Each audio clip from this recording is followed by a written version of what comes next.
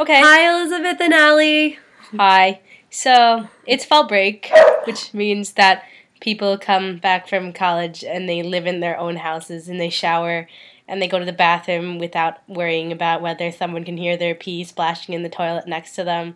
And Stuff they like get that. to step on showers that aren't disgusting and grimy, and they get to wear bare feet as opposed to weird flip flops. Isn't that cool? Yeah, it's really cool. Yeah. Anyways, I'm over at a house. And we're in the house, yay! And we, we there's a there's a TV. Look, look, look, look, look, look at the really big TV. Okay. Uh, that's besides the point. Besides the point, so we're just like saying hi, and we've been bad because we haven't posted very much videos.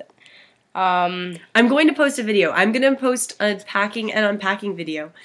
And yeah, I was there. That was from a while ago. That was like we did that a while ago. Um, yeah. so pretty much just chilling. Do that. Yesterday, I came back home and it sucked because I'm sick, and so is everyone else. I'm sick school. too. Like my parents think I have bronchitis See. or whatever, which is an infection of something in my lungs, but I don't really know what it is. Probably because I have like.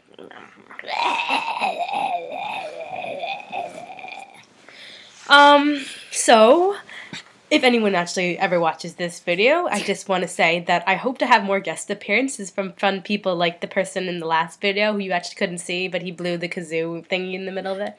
Anyways, he's really cool. He was And- really cool. I will make more videos and show my life Um, because I'm having fun.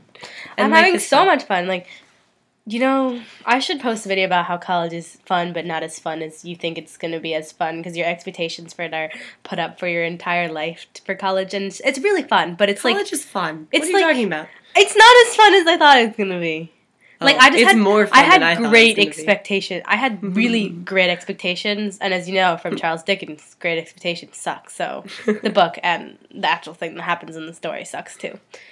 Um. Well, I think we should probably wrap this really super rambly video up because we like one take wonders. Uh, if you, yeah, bye. Yeah, that. Love you.